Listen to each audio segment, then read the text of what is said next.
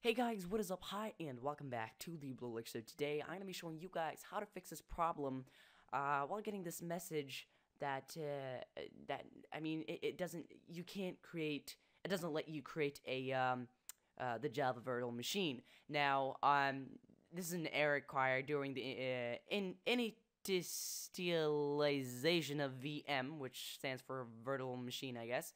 But, um, so th this error is pretty common a lot of people get it, especially for the people that don't have enough RAM to host servers.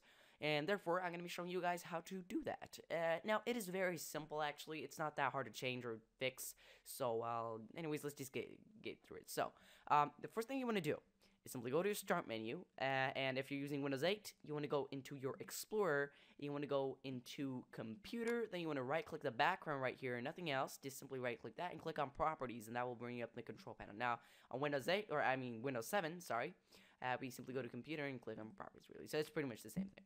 So, anyways, uh, the thing that we're going to be just pretty much focusing on here is uh, how much installed memory we have, as you might already know, uh, also called RAM. Um, so as you can see, I have 3.87 gigabyte, which is okay, fair enough. But um, I mean, it's not probably the best for hosting servers, and you might even have uh, less, since this is probably why. That's obviously why you're having the uh, error. Now, if you get this error, which uh, tells you that uh, you get an error acquired uh, during the uh, thing of starting the virtual machine um, by Java, you know, it, it's it's just really because it, it your computer can't handle it. It's way too much for your computer, apparently. So, anyways, um, as you can see, what you want to do is just take a take a good look and memorize this little thing here, um, which is how much uh, RAM you have. Now, you might have two gigabyte, you might even have one, you might have less. So that's probably you might even be using like uh, Windows XP or something, and that's probably why you're here. So, um, to fix that, if I simply go back into the server here, I'm actually going to close this down. Uh, there we go.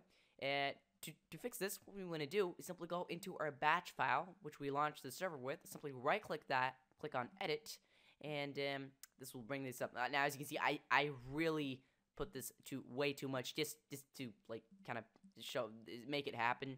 So um, th this is a problem that you're using way too much RAM for your server to run on. So for example, uh, if I set this down to uh, maybe um, uh, 4 gigabyte, which would be let's see, 4,000 uh, and uh, I think 48, if I'm not too wrong, um, or maybe more. I think it's even like I'm not sure how much it is, but let's say, uh, let's say I want to get it to uh, three gigabyte. I set to 3072 uh, M, which stands for megabyte.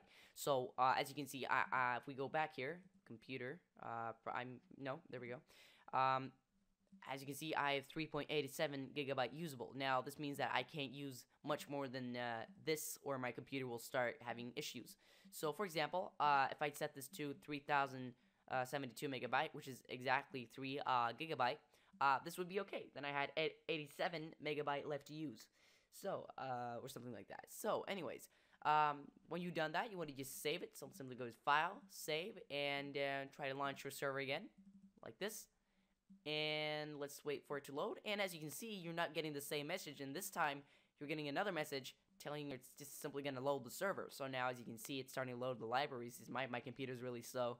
Um, but uh, here we go. It's starting to load. As you can see, you are not getting any uh, errors any longer. You are now simply just loading the server. So, uh, that's about it. Yeah, that's how to fix it.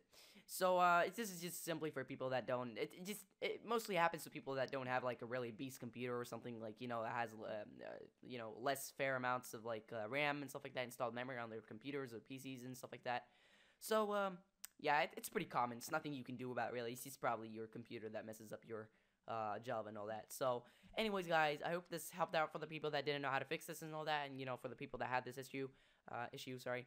Um, and if it did help you out, please leave this video a like. It really helps me out. And uh, become a Lixard today by subscribing to my channel. And I will see you guys in my next video. Thanks for watching. See you guys later.